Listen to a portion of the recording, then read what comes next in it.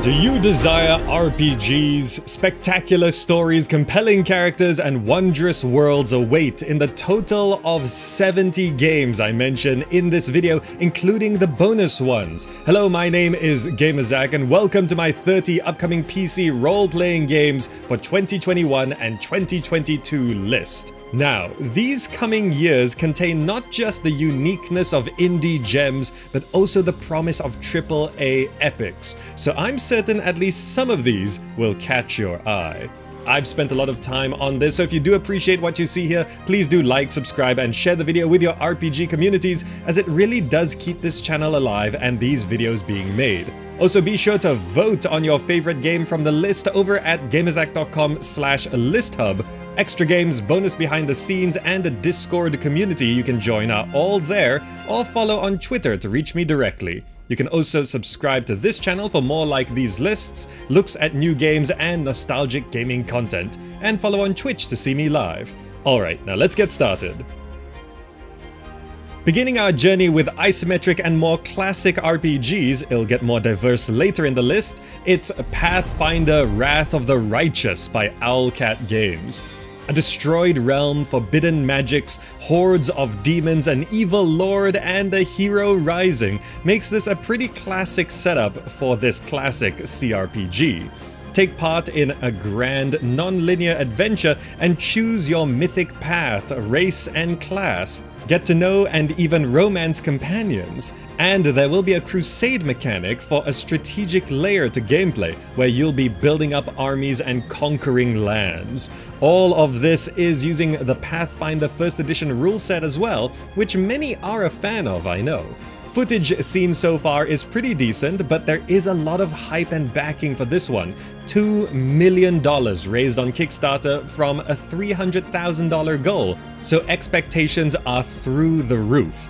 Owlcat has a history with games like this as well, so with experience and budget, we can expect Pathfinder Wrath of the Righteous to be a good one to watch moving forward. Continuing with isometric for now, Alaloth Champions of the Four Kingdoms by Gamera Interactive. Set in a vibrant fantasy world, here we can expect fast-paced, skill-based action, attempting to bring some Souls-like combat to an isometric game, along with a deep narrative inspired by classics. Four kingdoms divided, you will need to unite them against the dark god Alaloth, Gameplay includes a reputation system, quests, customizable characters, companions, world exploration, and crafting. So far, it seems to be shaping up well, and although it's kind of leaning towards an action RPG, the slower and more paced combat does keep it from being too explosive. Whether it actually feels good to play will need to be tested before judging. Stated to have a 2021 release, it shouldn't be too long until you can play Alaloth Champions of the Four Kingdoms if everything is timed correctly. And then we have Dark Envoy by Event Horizon. A dark, broken world where tensions are high and technology clashes with magic for dominance. Explore the world in your skyship, delve into procedural dungeons, and use a new RPG system that promotes experimentation and adaptation. Also, your choices should have an impact on the world. 4 base classes, 16 specializations, and mixing of skill trees, there should be lots of flexibility for your characters and combat is free of RNG. Real time with active, slow, or pause, which is a popular system nowadays as well. We got a much better look at gameplay in 2020 with new reveals, and it's looking a lot better than a year ago. Intending to deliver a release in 2021, Dark Envoy should be playable soon enough. Next up we've got Black Geyser, Couriers of Darkness by GrapeOcean Technologies. Set in the world of Erengel, this is an isometric party-based RPG where chaos and despair spread throughout the lands. Expect a range of fantasy races, choosing of classes, and magical spells in this classics-inspired CRPG. Party up to 5 characters or go it solo with real-time gameplay and combat. Meanwhile, there's free roaming exploration, branching dialogue, romance options, and some special things like planting items as a thief, adaptive shapeshifting, and brewing, along with other interesting quirks. Raising over $145,000 and hitting many stretch goals. This should be as complete a game as intended as long as nothing has gone wrong, which was a worry as updates were rare in 2019. Set to launch in 2021 after a backer beta in 2020, Black Geyser Couriers of Darkness seems to be back on track and will be releasing soon, hopefully. Now, roll for initiative! Solasta Crown of the Magister by Tactical Adventures. Staying true to tabletop roots, this has a license to use the D&D SRD 5.1 rule set, so expect to be rolling those dice and getting exactly what you want. Play four heroes, each with unique skills, and choose your destiny on an epic team adventure. Combat is squad, turn-based, and tactical, and prepare to think in three dimensions as the game board will include climbing, jumping, or even flying around obstacles. It looks great and really seems to be committing to the essence of classic D&D, which is perfect if you're looking for something a bit more proper. After listing this last year with an uncertain release, it went into early access towards the end of 2020 to a lot of very positive reviews on Steam, so it seems Solasta Crown of the Magister hit exactly what it was aiming for, and should be completing development in 2021. And then we have Wigmund, The Return of the Hidden Knights by the Scholastics. Calling itself a story-driven, skill-based top-down RPG inspired by Tolkien's writings, this game takes a few interesting approaches to gameplay. The mouse will be an extension of your weapon, mouse gestures controlling blows and dodges, which sounds a bit like the game Exanima. It allows for a lot of flexibility and skill, but also it's not a system that everyone will enjoy, as the difficulty can be high and if not refined, it can feel clunky. Questing will be as expected, but they promise not to be too generic, and with accurate physics collisions, upgradable equipment will be important and each of the many pieces you equip will play a role. It all sounds pretty great and could be refreshing with the approach as long as it's all delivered and the pieces fit together at the end of the day. Planning to have an early access release early 2021, the base systems will be in place and development will continue on story chapters, so Wigmund, The Return of the Hidden Knights should be able to fully release later on in 2021. And next we've got The Waylanders by Gato Studio classic party-based RPG inspired by Celtic mythology, Dragon Age, and Baldur's Gate, time travel is an interesting addition to the game as your party goes between the distinct Celtic and medieval eras. There's full character customization, formation-based tactical combat, in-depth companions, and multiple endings. Kickstarted for just over its $150,000 goal, it went into early access mid-2020 to mixed reviews. Development has been a little rough, but seemingly is catching up on the roadmap timeline. A combat overhaul, a huge amount of bug fixes, and a ton of polish is needed and planned, so we can hope it turns out well. Aiming for a spring 2021 release, The Waylanders should release soon, but I wouldn't be surprised if it's delayed, all things considered. And now we're going into some pixel art games, which is a personal favorite of mine. Skald Against the Black Priory by Scape-IT. What looks like an RPG from the 80s, this is a retro-styled turn-based game that's set in a dark and gritty fantasy universe full of tragic heroes, violent deaths, and eldritch horrors. Inspired by Ultima, but with the ambition and narrative of a modern RPG, you'll develop and lead a party of up to six characters engaging in tactical combat, dynamic tree-based dialogue, and choose-your-own-adventure sequences. After a very successful Kickstarter, this one has gone into early access towards the end of 2020.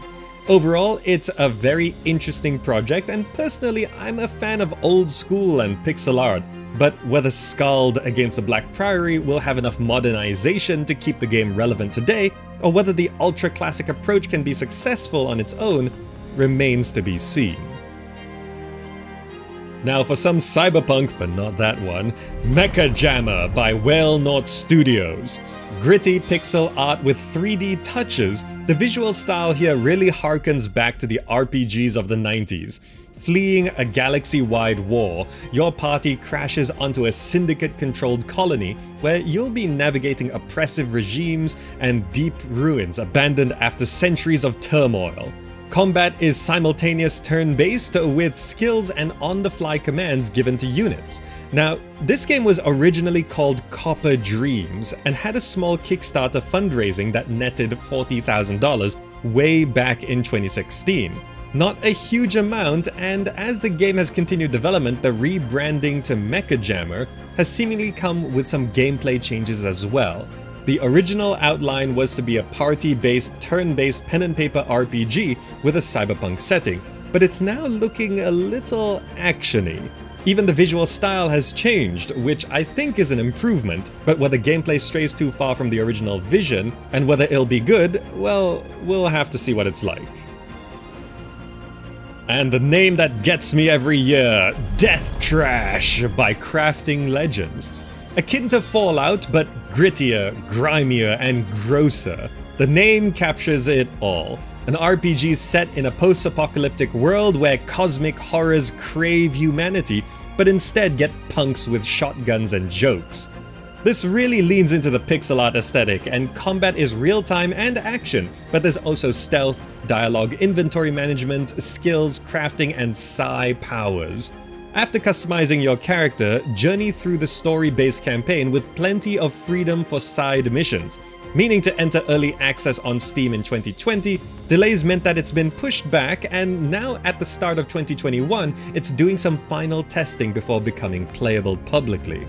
So it shouldn't be much longer until we can get into the gritty, pixely world of Death Trash. Going a bit more sci-fi, it's Colony Ship, a post-Earth role-playing game by Iron Tower Studio. A turn-based party-based RPG set aboard a generation ship on the way to Proxima Centauri. With a detailed skill-based character system, recruitable party members, three main factions, choices with consequences in quests, and branching dialogue trees, this is promising to be an isometric sci-fi classic RPG with tactical combat. All of this taking place on the ship post-mutiny makes it pretty different from the other games in terms of environments you can explore, but hopefully it's varied enough within the game itself, and every part of the ship has unique characteristics as well. Slated for a fall 2021 release window, Colony Ship, a post-Earth role-playing game is on the way, but if you're still not sure about it, there is a demo on Steam you can check out now. Next up, we've got Gamedec by Anshar Studios. This is one that's trying to be different as you're playing a game detective that solves crimes in virtual worlds. It's single player, non-combat and cyberpunk themed as an isometric RPG and without combat gameplay, as it's more about gathering evidence, investigating relationships, untangling facts, and more that you would be expecting to do as a detective. Emulation of tabletop RPGs is a focus when it comes to character development and decision making, so expect there to be complexity, with all the pieces fitting together and consequences for the choices you make. It was looking decent, but rather clunky a year ago, but progress has been made and it seems to be coming together. But with great detective RPGs like Disco Elysium out there, it might be hard to live up to the quality of writing and polish that some would expect. After delaying a 2020 release, Gamedec is now deducing a 2021 release window, which could be soon or it may be pushed back again if complications arise.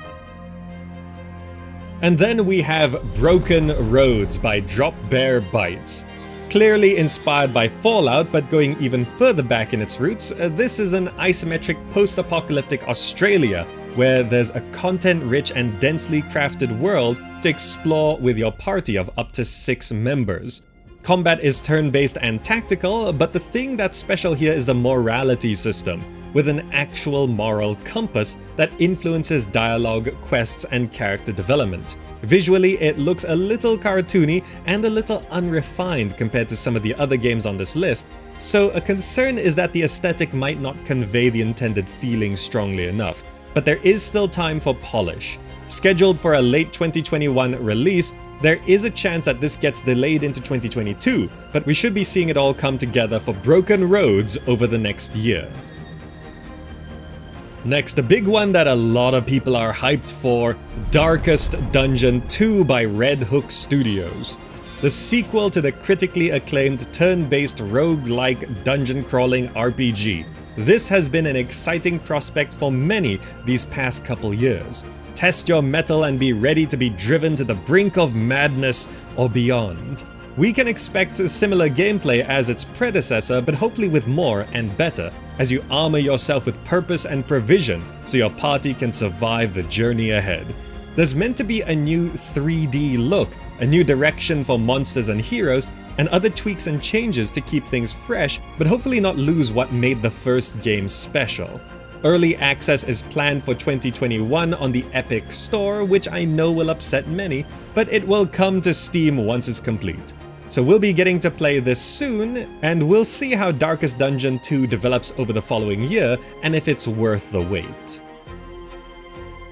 In a similar vein, it's Vagrus, The Riven Realms by Lost Pilgrims Studio. Explore a dark continent, experience a branching narrative, engage in turn-based combat, manage your crew, and encounter a colorful cast of characters. You'll be embarking on a perilous journey across a forsaken dark fantasy realm in this post-apocalyptic RPG with strategy elements. Combat does look very Darkest Dungeons inspired, and over the last year, many of the mechanics seem to be turning out to be something that looks pretty solid. A year ago, they raised $50,000 on Fig, and now it's almost tripled to over 145,000. So interest and support are relatively high. Vagrus the Riven Realms also entered early access mid-2020 to few but very positive reviews and has plans to fully release in 2021, but could take longer if things happen. And now for a tactical RPG, we've got King's Bounty 2 by 1C Entertainment. Attempting to combine fantasy and realism, beloved genre tropes mixed with down-to-earth grittiness is the stage for this realm-wide struggle. Boasting an unpredictable, non-linear story and a highly cinematic experience, your choices and dialogue are meant to have significant consequences as you play three different characters, each with their own story. You'll be aligning yourself with ideals as well, being strength, art, order, and anarchy, Meanwhile, battles are squad-based and tactical. From what's been shown off, the game is really nice to look at, and the focus of gameplay does seem to be on deep and rich experiences, and after some skepticism, it seems to be winning people over. Though after so many years since the last King's Bounty game, changes and modernizations might make it feel quite different from its predecessors. This one is now currently heading towards a 2021 release, so barring any further delays, it won't be much longer. And now for something a little different, Sacred Fire by Poetic. Uniquely calling itself a psychological RPG with a big focus on choices in a world inspired by ancient Caledonia. Controlling your emotions and outsmarting opponents are the key to victory here. Foster allies, fight battles, and find your way through a branching narrative to become who you have to be to stop the invading Romans. Customizing your character will include their mind, combat includes psychological tactics, otherwise use diplomacy to resolve conflicts, and unlocking motives, weaknesses, and secrets can help you along the way. They also promise a no-filler story, which is a great promise as long as there is enough to keep the game going. Which it seems the key here is a shorter but replayable experience as the game has 5 unique endings. A shorter but more meaningful game certainly has a big appeal nowadays, as many don't have time for everlasting epic expeditions, but if you are looking for something bigger, then Sacred Fire may end up being not quite enough for you in 2021. And now for a couple JRPGs, starting with Cris Tales by Dreams Uncorporated and SYCK. First glance, and you might already love how this game looks. Pretty 2D art and a game that's a love letter to classic JRPGs. A unique mechanic about this is that you experience the past, present, and future all at the same time, which sounds like it could be confusing or cool if they do it well. Battles will be strategic turn-based combat and you'll be able to warp your enemies into the past or future and you'll be discovering a beautiful world aboard an airship or on a boat while meeting characters and uncovering the Empress's plot to destroy the world. Initially setting a 2020 release date, like many games it was delayed into early 2021, but there is a debut demo that you can check out for free right now. So if you're interested but not convinced, you can see what Cris Tales is like for yourself, and then if you're still looking forward to the full release. Then for one that may stay on consoles for a little bit before coming to PC, it's Final Fantasy XVI by Square Enix. The legacy of the crystals has shaped history for long enough, a line sounding thoroughly Final Fantasy and the latest title in the decades-long series is on the way.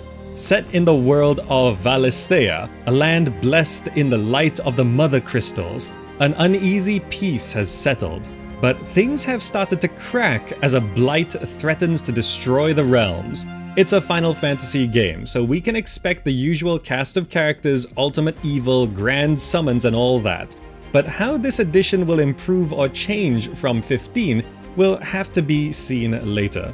After a reveal in 2020, more specific information is scheduled to be released in 2021, so if you've been waiting for it, details are on the way. We can expect this to be a console exclusive for a while, but it should also be coming to PC eventually, much like the other recent Final Fantasy releases. And now moving on, we've got Fable by Playground Games. After a few years of this being known of but with no details, a new Fable game has finally been properly announced, but just with a cinematic trailer. Explore a land of fantastical creatures and wondrous places in a game that's set to be a new beginning for the franchise, so it's a reboot of sorts. Besides speculation, not too many details can be confirmed, but a sense of humor is embedded in the trailer, and we can of course expect it to be a fantasy role-playing game. Swords, magic, fairies, and Albion shining in the distance. It seems to be thoroughly Fable, but it is an entirely different team developing it from the previous games, and it's unclear if they will be able to capture the subtleties that made the original games the favorites of many. Hype is huge, but all we can do is wait for a proper gameplay reveal for Fable. Then we've got Hogwarts Legacy by Avalanche Software, the Harry Potter RPG that people have been dreaming of for decades is supposedly on the way. An immersive open-world action RPG, you'll be taking control of your own wizarding story as you journey through familiar and new locations. Customize your character, craft potions, master spells, upgrade talents, and more in 1800s Hogwarts. Although the world is based on the books, this being set way before, it's an original story, and considering the controversies, J.K. Rowling isn't directly involved with the production or writing of this game. Take that as you will. Generally, it should be the most developed and intricate Harry Potter game to date, and there's a lot of expectations, so pressure's on. It was initially planned to release in 2021, but it's been pushed back to 2022, meaning you're gonna have to wait a bit longer for your invitation to Hogwarts Legacy. Continuing with the big games, Dragon Age 4 by BioWare. Enter a vibrant world of rugged wilderness, treacherous labyrinths, and glittering cities. A new hero is needed and you'll be forming a fellowship to face the dangers ahead friendship, drama, and romance included. Since it's still relatively early in development, confirmation on specific gameplay mechanics and systems are still not available, but we can hope that it's all improved since the previous title and we can expect usage of some new technology in a story about having no power, based on some interviews. Loosely expected for a 2022 release, it'll be a little while before you'll be able to play Dragon Age 4, so details are probably going to be provided through 2021, and hopefully it will be completed over the next couple years. And now a game that's shrouded in mystery, Elden Ring by From Software. After Dark Souls, Bloodborne, and Sekiro, there is much hype and high expectations of the latest up-and-coming From Software game, but the whole thing is still basically a blur. George R.R. Martin is involved, so that may be interesting when it comes to the story and setting, and it's meant to have an open world ready for exploration. It's reportedly the biggest game yet in terms of sheer volume, and gameplay is supposed to focus more on RPG elements compared to Sekiro, and character creation is supposed to be back as well. So it should be more like Dark Souls instead of Sekiro. Really, there hasn't been any new reveals or confirmations over the last year, so there isn't much to do besides wait for more Elden Ring details if you're looking forward to this one. And then going first person, Dying Light 2 by Techland. The fate of the city is in your hands. 15 years after humanity lost to the virus, the infected world is plunged into a modern dark age where bandits, factions, and survivors scavenge during the day and the infected roam at night. Tough choices to make will have huge impacts on entire regions, and you'll be able to play the entire campaign in up to 4 player co-op. There is of course a lot of action, parkour, and zombies to kill, so I am aware that some of you might consider Dying Light 2 to be a bit too actiony and not RPG enough to count in this list, but quite a few people are really hyped for it, and there are still a lot of RPG-centric things to keep it here. One big note is that many were interested in this because the story was initially being written by Chris Avellone who has since been removed from the project due to the controversies, so take that as you will. Meanwhile, there is no clear release window set for Dying Light 2, so it might still be a while before we get to play it anyway. Then we've got Vampire the Masquerade Bloodlines 2 by Hardsuit Labs. What kind of monster will you be? Sired in an act of vampire terrorism, your existence sparks a war with uneasy alliances nestled in a sprawling conspiracy in the city of Seattle. Take on your foes in first-person combat using a myriad of melee weapons and firearms, but of course you being a vampire, maybe you don't need any of those things. Choices are meant to matter as well, with different paths and outcomes, faction choices, and how human you remain. The announcement of this did surprise and delight many as the original game is regarded highly in terms of RPG standards, even if it was eclipsed by the release of Half-Life 2. Also, this is being published by Paradox, so expect DLC and add-ons sold separately, just as a point there roughly scheduled for a 2021 release, we can hope it makes it on time, but with some recent organizational changes and other global complications, I wouldn't be surprised if Vampire the Masquerade Bloodlines 2 gets delayed further as it was already supposed to release in 2020. And then for one that's interesting but still not very clear, The Wayward Realms by Once Lost Games. What's being speculated to be a kind of spiritual successor to the Elder Scrolls Daggerfall from the original developers of Daggerfall, nothing has really been shown, but there's quite a bit of information aiming to revivify the RPG genre with this new open-world fantasy RPG utilizing classic design philosophy with modern quality of life advancements, this is labeling itself a new subgenre, the Grand RPG. Set on a group of over a hundred islands, factions vie for power and dynasties strive to maintain the status quo while upstarts seek to earn their place. That sounds like an ever-changing world with a dynamic dynasty system, so maybe it's kind of like a first-person RPG in a world of Crusader Kings? Which sounds really good, but specifics are vague. You'll be venturing through strange lands with humans, elves, dwarves, and more unusual races, and it all sounds cool, but with nothing revealed yet, this is more of a space to watch. One big question is how much will this game take from the later Elder Scrolls titles? Daggerfall is a favorite of many, but modern gamers often find it difficult to play, so the Wayward Realm will need to strike that balance to compete or carve its own niche entirely. Speaking of the Elder Scrolls, Starfield and the Elder Scrolls 6 by Bethesda Game Studios. I'm combining two games into one here since Bethesda likes to keep things secret. Starfield is a new sci-fi RPG that has a vague, spacey trailer, and Elder Scrolls 6 is a new fantasy RPG with a vague landscape trailer. Rumors and guesses point to the next Elder Scrolls game being set in either Hammerfell or High Rock, and a trademark was registered for the name Redfall, so things point to that region. It's been stated that the engine used for Bethesda games is getting the biggest improvement jump since Morrowind to Oblivion, so we can hope much of the jankiness is fixed for both Starfield and The Elder Scrolls 6, but it would be prudent to be skeptical of that. Now, I don't expect Elder Scrolls to release in 2021, but Starfield might, if not then 2022, but it's hard to call because Bethesda likes last minute announcements. Meanwhile, Bethesda's reputation took a big hit with Fallout 76, but it seems that the MMO itself has recovered from one of the worst launches in gaming and is now, believe it or not, a popular and well-liked game. It all still curbs the height we can have for these games though, and I guess we just have to see how Starfield and The Elder Scrolls 6 turn out. Now, some people are tired of waiting for The Elder Scrolls 6, so here is Avowed by Obsidian Entertainment. A fantasy RPG set in the Pillars of Eternity universe, this dual-wielding story-driven game is one that many are anticipating.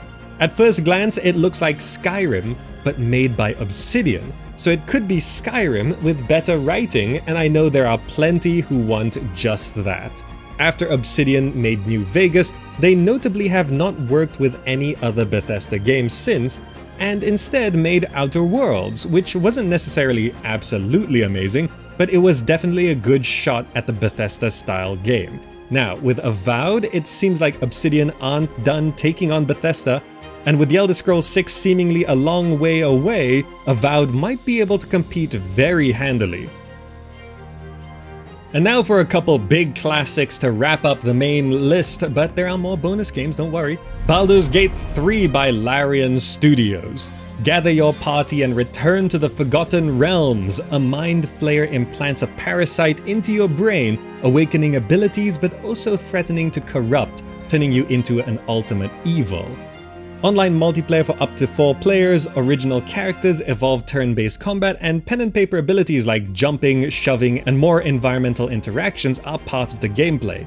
This is from the creators of Divinity Original Sin 2, uh, so you can see some similarities there, but it should still remain Baldur's Gate. So hopes are high that this can be the next great fantasy RPG, and hopefully living up to the Baldur's Gate title.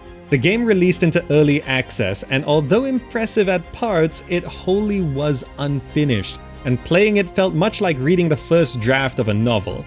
I would recommend waiting for full release and experiencing Baldur's Gate 3 in all of its completed glory when it's actually ready.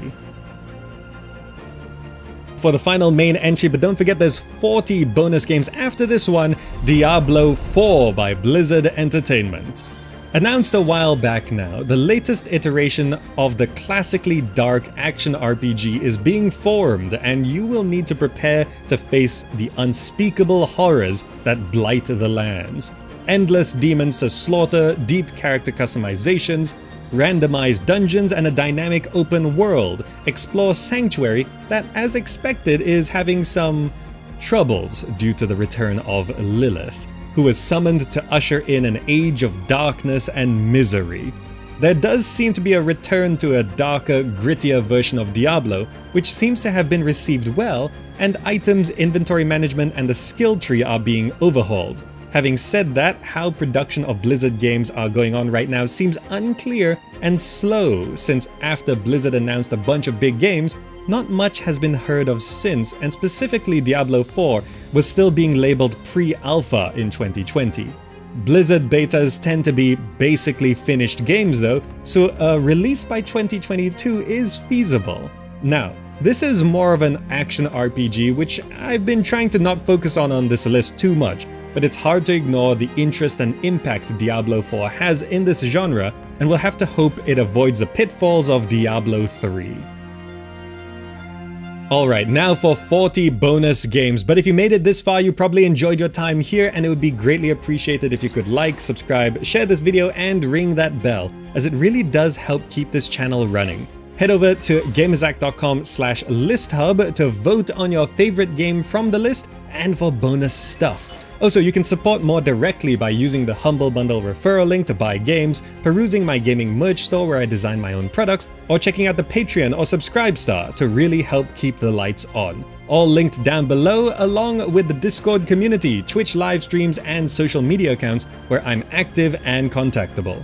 Okay, now for 40 more games, and there are just so many games calling themselves RPGs nowadays, it's impossible to mention them all. But let me give you a sense of the scene.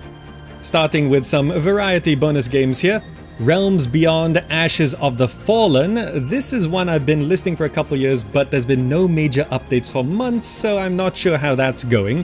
Project Witchstone, a pen and paper RPG that's in development, but super unclear if and when it will be released. Odd Gods.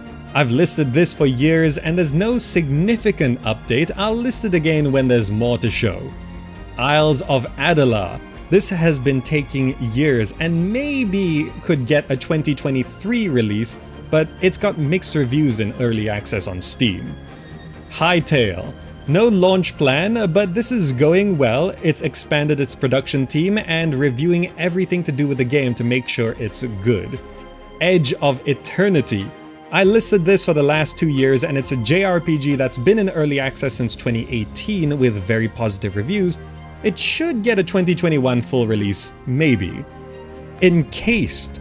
I listed this one as well for the last two years. It went into early access in 2019, and it still says on the Steam page that it'll take 9 months to finish, uh, instead of a couple years. But it has mostly positive reviews though, so people like it. Mount and Blade 2 Bannerlord. Of course, there is a mention of Mount and Blade 2 Bannerlord. It's been in early access for a year now with no solid full release date, I've listed this many times in the past, going back maybe half a decade now, so you know about this one. And I'll put it in the main list again when they announce a full release date. And then Path of Exile 2, this is not really a new game, it's more of an expansion that's an add-on to the original. It's a debate whether these half sequels can be considered new upcoming games or not, let me know what you think. It's kind of like an Overwatch 2 situation. Is it a sequel? Is it an expansion? It makes my job difficult. And now, for RPGs that are way further on the horizon, there's Witchbrook. It's a school life RPG game thing that's about a witch in training, like a pixel art Harry Potter. In 2021, it's in development, but little is confirmed, even the platform, so we don't even know if it's a PC game. Kenshi 2 is actually on the way. Kenshi 1 took 10 years to develop. Hopefully with the success of the first game, this goes a bit quicker. Apparently a new Mass Effect game is in the works, but there's no confirmation of very much at all. inXile Entertainment is creating two new RPGs. All we know is maybe Cyberpunk, maybe first person, and they're running in Unreal Engine 5 and Archetype Entertainment is working with Wizards of the Coast to make a sci-fi RPG, but again, no details on this one. And now, going into combat-focused RPGs. There's a few subgenres here, but they're mostly about the combat aspects, but they have RPG elements. In tactical RPGs, we have the Iron Oath. This was supposed to release in 2020, now it's maybe 2021, and it's ending its alpha phase about now. Black Legend, it's a dark, immersive, turn-based strategy RPG. There's a free demo if you want to check this one out. Wildermyth, a myth-making tactical RPG with overwhelmingly positive reviews on Steam, so you can check this out if you want. Urtuk the Desolation, an open-world tactical turn-based RPG in a low fantasy setting. King Arthur Knight's Tale, a unique hybrid between turn-based tactical games, roguelites, and traditional character-centric RPGs, it's going into early access in 2021. Gloomhaven, the digital adaptation of the acclaimed board game, mixes tactical RPGs and dungeon crawling. And then The Hand of Merlin, a turn-based roguelite RPG in which Arthurian legend clashes with sci-fi horror, which sounds pretty interesting. And then we've got our Souls-like games, starting with Shattered, Tale of the Forgotten King, challenging boss fights and inspired by Dark Souls and Shadow of the Colossus. Eldest Souls, pixel art Souls-like where you explore a vast forgotten citadel. Then there's Bleak Faith Forsaken, a kind of technological, dark, maybe cyberpunky Dark Souls-like game. Elex 2 is still uh, reportedly in the works, and there's nothing to show, but apparently it's in development and a proper announcement is possibly planned for 2021, but it's unclear. Winterfall, it's going at a crawl through development in 2021, and there's no significant news, but apparently it's still going. And then most tentatively, there's Lords of the Fallen 2. The development was delayed, and then they got new developers in, and then they did it again with a second set of new developers, and then I think they did it again? It's unclear if this will ever finish. And now a final run on other notable combat-focused RPG-like games going on with The Soul Keeper Chronicles, a dark fantasy open world RPG featuring three single player campaigns, each with a different protagonist with different gameplay mechanics. Biomutant. Been watching this for a few years now, and it should finally be releasing in 2021, maybe. Sea of Stars, beautiful pixel art and turn-based combat with free traversal. Stone Shard, a lot of people like this one, turn-based RPG with unrestricted character development in a grim medieval world. Tainted Grail The Fall of Avalon. Save your hometown in this narrative-driven, deck-building open-world RPG. Ruined King, a League of Legends story. Unite a party of League of Legends champions in this immersive turn-based RPG coming in 2021. Dreamscaper, a dynamic ARPG roguelite that's a blend of brawlers, top-down shooters, and dungeon crawlers. Last Epoch, combining time travel, dungeon crawling, and character customization. Aetyr, an action RPG built around exceptional combat and formidable challenges in a mythological Norse world. Creature Keeper, this is one about befriending, raising, and fighting alongside creatures. Bloom Memories, an action RPG where killing is optional, so that's a little bit different. Kingdom of Night, where you're hunting creatures in an 80s Arizona suburb. Undungeon, an action roguelike RPG with dynamic fighting and unusual mechanics. Almost there, Tales of Arise, an anime action RPG that looks pretty interesting. And finally, Project F is a code name for Riot's new mysterious action RPG, which, as far as I know, there's no details about it, but you can keep an eye on that space. And that's it. 30 upcoming RPGs plus 40 bonus ones that should be releasing through 2021 and some into 2022 depending on their development. Which ones are you most looking forward to? Oh, also, here's something I'd like to know. Do you think RPGs are diversifying enough to have something for everyone? Or is there still something important missing from this myriad of games? There's a lot of titles here, but are they basically the same? Now, if you'd like to see more upcoming games, check out the other lists on the channel sorted by genre shown at the top of the video for many more upcoming PC games. Or you can have a look at my In 2020 X series, where I take an old game and see what it can be remastered, modernized, and upgraded for today, like I did with Daggerfall, Morrowind, and Wasteland. Alright, that's all for now. Thank you so much for watching, hope you enjoyed it and found it useful, and I will see you in the next video.